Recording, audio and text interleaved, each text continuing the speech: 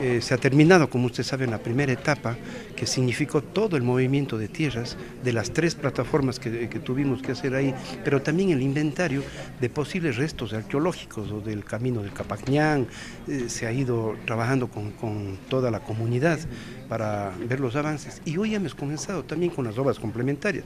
Se comenzó con la apertura de la vía de la vía que conduce hacia una vía directa, hacia el centro de, rehabilitación que tiene características especiales, que tiene un ancho de 14 metros, pero que también mantendrá una ciclovía, que mantendrá una iluminación perfectamente adecuada, de que tengamos que ya eh, comenzar ya la, en sí mismo la obra física del centro de rehabilitación moderno, con toda su tecnología, con todas sus instalaciones.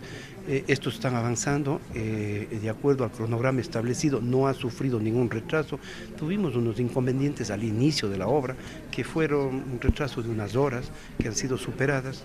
Constantemente estamos reuniéndonos con la comunidad, eso es importante.